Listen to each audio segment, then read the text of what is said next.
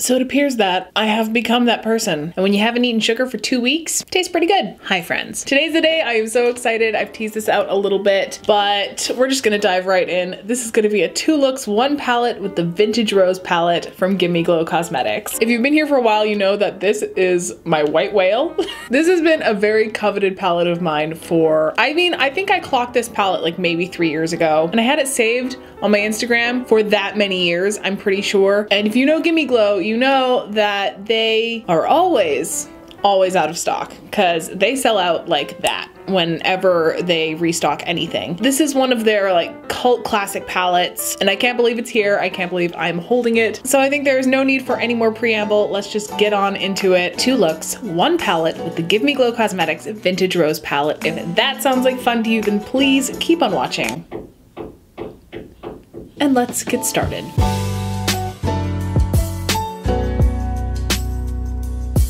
So that's what we're fighting today, folks. It is a new audio battle every single episode. I think it's wild to see a palette hold relevancy for more than a year these days. So the fact that this palette remains coveted for many people and relevant for many people for this many years now is astounding. But for me, it's brand new. I've only dipped into a couple of shades on my last video. If you haven't seen that yet, I will link it up here. So this is going to be really fun and exciting for me and hopefully for you too, even though I'm sure you have seen seen many videos on this palette already. It is my personal favorite color combinations. We have these rich, dusty rose tones. We have a deep burgundy. We have a green, which you know is my favorite color. And these ridiculous looking shimmers. Let's just swatch a couple right now off the bat. Thorn, which I cannot wait for. Copper Rose, Bouquet, and Blossom.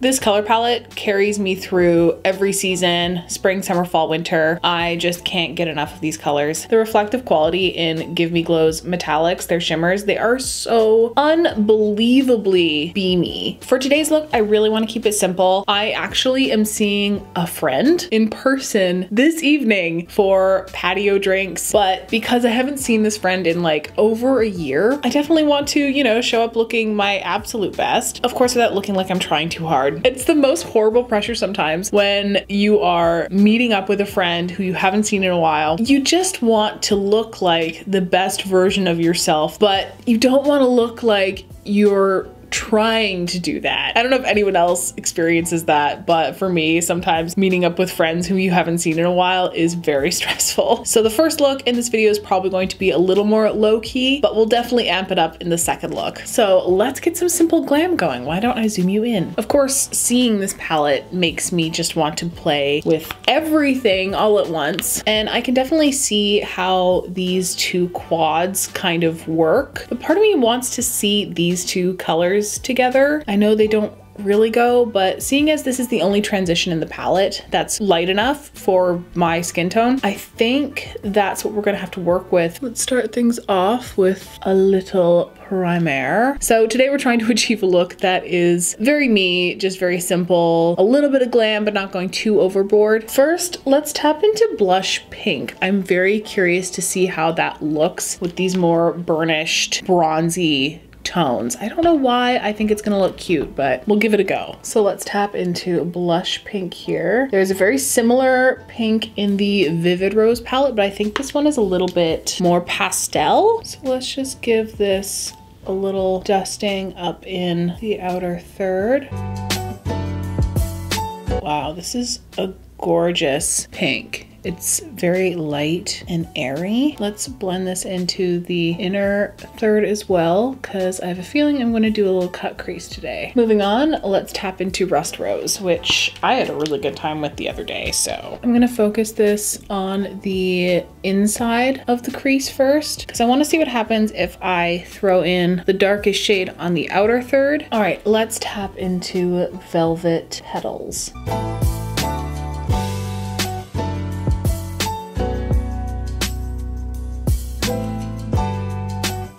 Patchiness so far. This formula really adheres to that primer quite well. And I'm starting to pull that darker color up and out with whatever product I have left on the brush.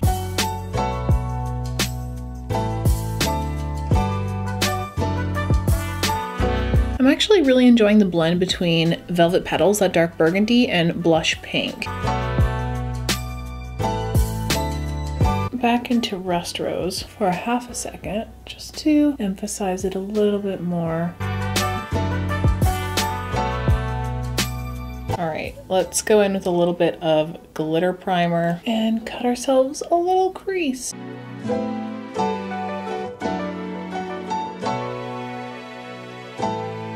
So I definitely want to keep the inner portion of the lid quite bright. So let's tap into Blot. So let's tap in. So we're definitely going to use Blossom for that. Oh yeah. Let's go into a little bit of Copper Rose, but then I'll blend it into Bouquet on the edge. Oh, and it's everywhere. It is everywhere. Let's tap into Velvet Petals, which is that burgundy, and work that into the blend. Let's take a little bit more Rust Rose because I feel like we lost it a little bit once we cut the crease. These are the kind of shimmers that you have to blot out on your hand before you go in on your eye. The fallout is everywhere. There's no escaping it. Let's start with a little bit of blush pink on the lower lash line. And then I think the lower lash line is going to be mostly Rust Rose just to tie that heat in a little bit more.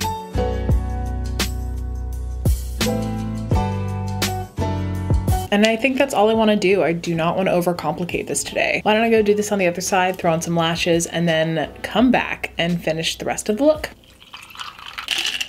Okay, other side is done, lashes are on. These are broken from Likely Makeup. I usually tack on just like a half lash and stack those a little bit just because I feel like the broken lash just needs like a little bit more lift in the corners. Okay, let's move on to blush. And anyone who's watched this channel before could probably have predicted that I was going to just use this palette for blush and do a, just touch, just a, just a touch of draping. So let's go into blush pink. I mean, come on, it's called blush pink. What do you want from me? And let's start to build that up on the cheek.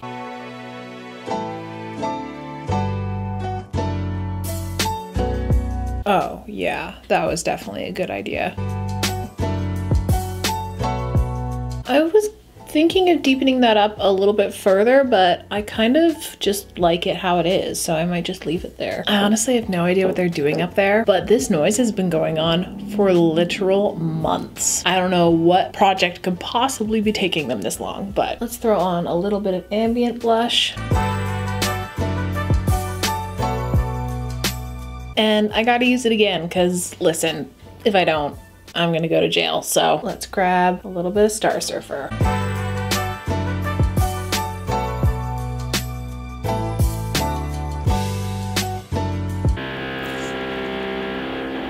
Let me just throw this into the inner corner quickly because I don't have anything else going on in there. I'm just gonna tuck this into the waterline. This is the NYX Jumbo Eye Pencil in the color Strawberry Milk. Um, lips? I don't know. Let's do a little bit of liner first.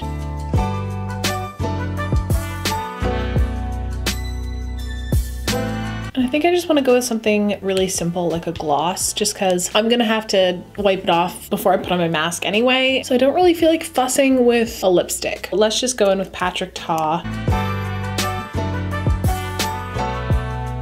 Okay, I think we're done.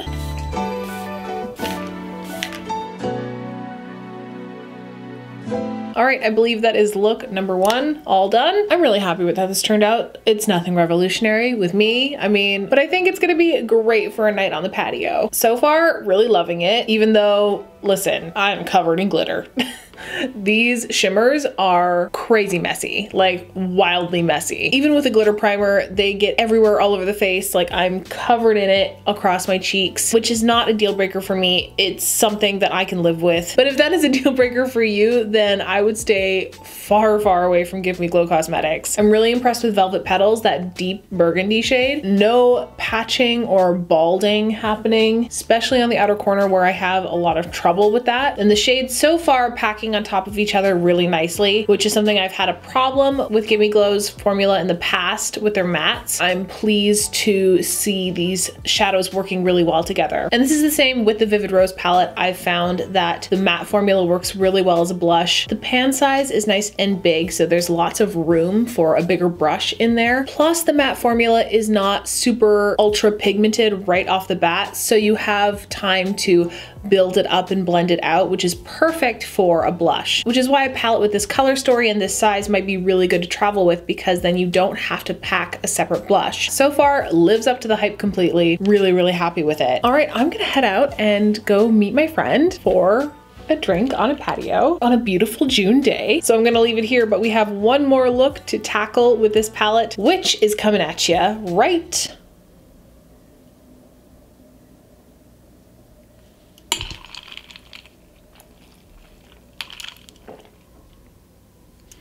Now, is it good or just sad that this is kind of growing on me. And we're back. Look number two with the Gimme Glow Cosmetics Vintage Rose palette. And today we definitely want to play it up a little bit more, maybe have a bit more drama going on. As per usual, I've not solidified exactly what I want to do. I know that I definitely want to tap into these two greens here, but apart from that, I have no thoughts. So I'll just throw caution to the wind as usual, play it by ear. we'll see how it goes. But definitely today feeling more of the drama let's just zoom you on in and get started. Also, that friend that I was meeting up with in the last look, we went on a very unexpected, impromptu five kilometer walk for which I was not wearing the appropriate footwear. And I gotta tell you, my feet are pretty mangled.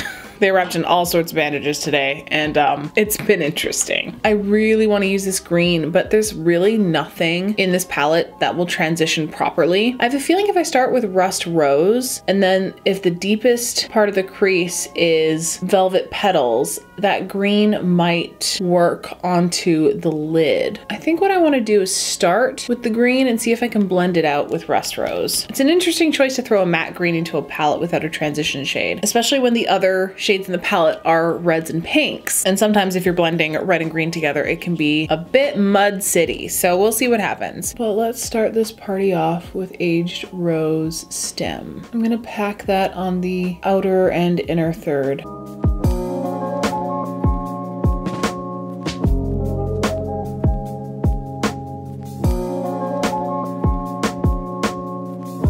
Trying to angle the shape kind of outward this way. Well, it packed really nicely. These shadows are quite dense, if that makes any sense. Like there's not a whole lot of kick up in the pan. Like they don't feel like they're going to fly everywhere when you dip into them. And I'll try and blur those edges out as best as possible.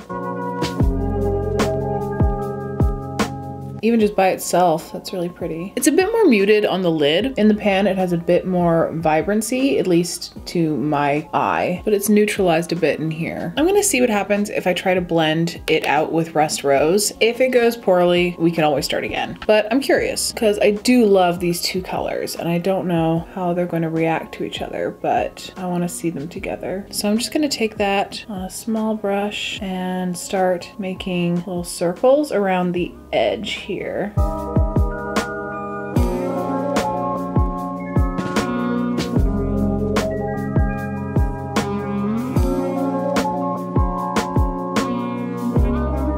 Yeah, it's kind of getting muddy right in here, and I thought that was gonna happen. Just for fun, I wanna see what happens if I try and use velvet petals. That's kind of working.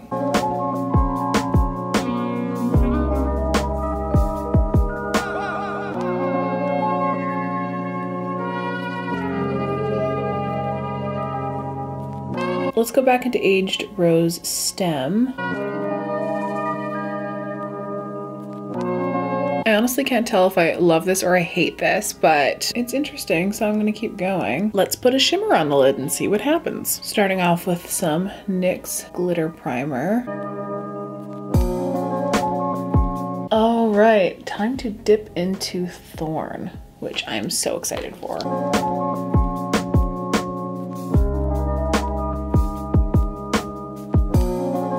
I mean, this color fucking slaps. So I'm gonna blend the edges with a little bit more aged rose stem.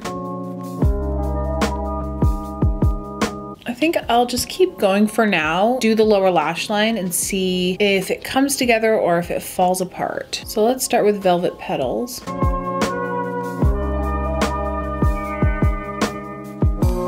And then let's use a little bit of aged rose stem in the center here. And then a bit more velvet petals just underneath there. This is getting into quite grungy territory, which may not be for everyone. That is okay. I'm blending it out with Rust Rose just to see what happens.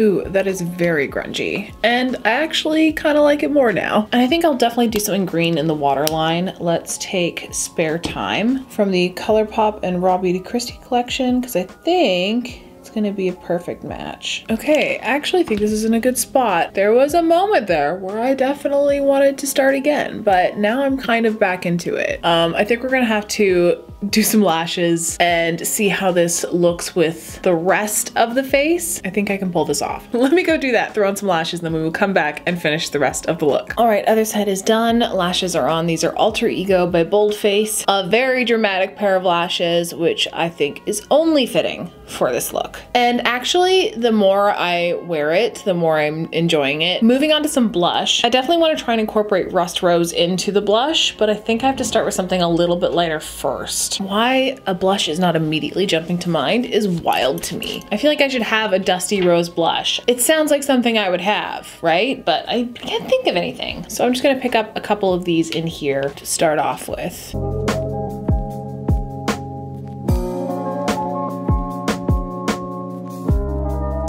Okay, now I think I'm actually gonna layer up with a bit of Rust Rose from the palette.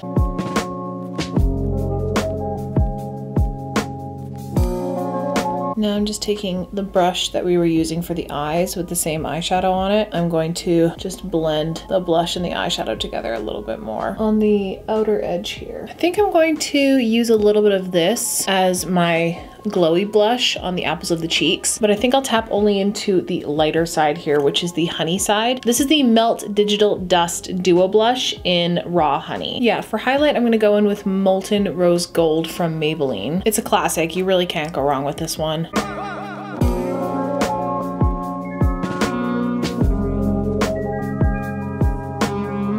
And then I think I'll just take that into the inner corner. And this begs the eternal question, what the fuck do you do with the lip? I bought something from Gimme Glow actually that I've yet to use and you know, it could work. I mean, it's not like a perfect match or anything and it's not like super dramatic in any sort of way, but it might look cute. Let's try it. I'm going to use the Haus Labs Rip Lip Liner in the shade Rule.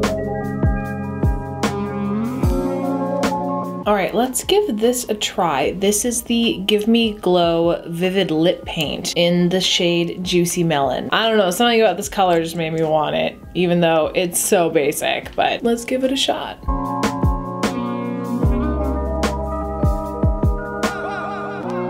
Okay, so it's kind of like sheer and glossy, which I kind of love. And it smells exactly like a butterscotch pudding cup. If you've ever smelled one of those, that's what this smells like. It's cute. Does it go? Not really at all. Am I too lazy to change it into something more appropriate? Yeah, a little. I also think red would be a really good option, like a dark, dark red, but I don't have anything on me at the moment that would be like a perfect match. And I think if it were even just like a little bit off, it wouldn't work. The other option is to try and match the green and go with hazel, which would kind of be a move actually. Let's just give it a shot because why not? I've got it, we might as well. And you know what? I haven't done something like this in a while, so I think we'll leave it like that. All right, I think we're done. I think we're done.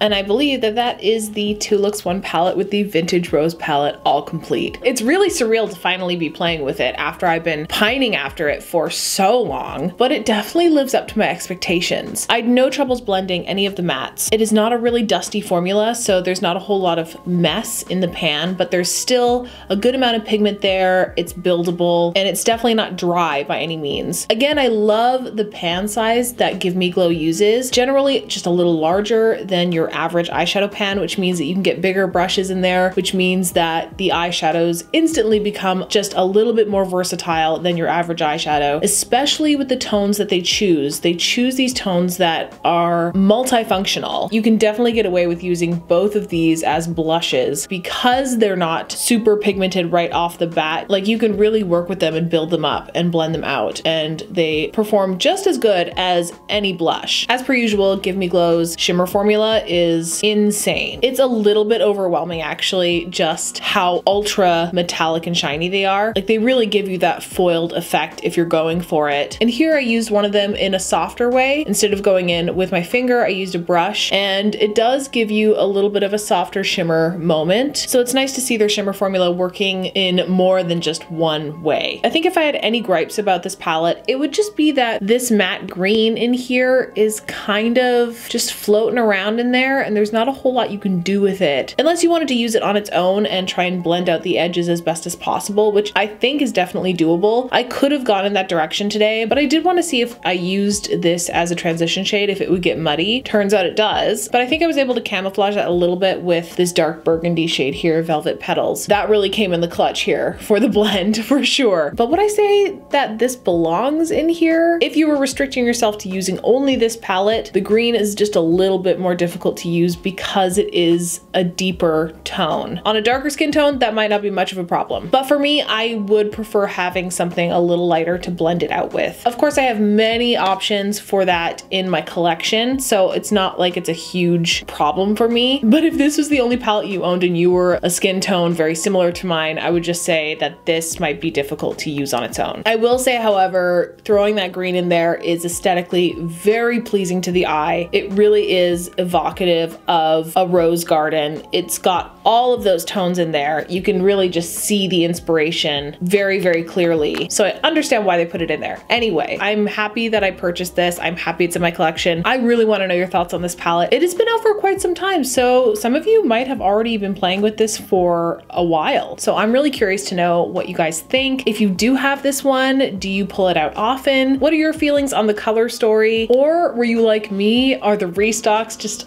eluding you? Is this your white whale? Have you never been able to get your hands on it? All of your thoughts, please leave them down below in the comments. I mean, the demand is still pretty high for this palette. I don't think it's going anywhere. And if you have nothing like this in your collection, it is a banger. All right, I think it's that time, folks. So I'm gonna head out, but before I do, please let me rattle off the spiel to you. Here are the many ways you can help out my channel. You can give this video a huge thumbs up. You can comment down below what you thought of everything. You can subscribe. Any and all engagement with this video is crucial to its success in the algorithm. So if you have a few spare seconds of your life, please engage with this video. You can follow me in other social media. I will leave those right there. If you wish to support me financially, I do have a Patreon. The link is down below in the description box, along with a bunch of petitions to sign and places to donate. All right, folks, and with that, please stay safe, stay sane, wash your hands, wear a mask, stay home if you can, get vaccinated if you can. Just keep doing your best, and I will see you on the next one. Bye.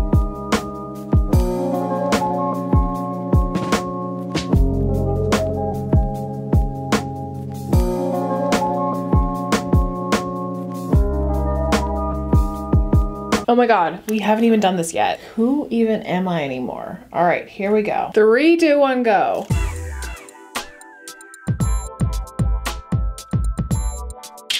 Oh no! Okay, this is being stupid. Ooh, ooh, that was good. Once we finally got there in the end, Jesus.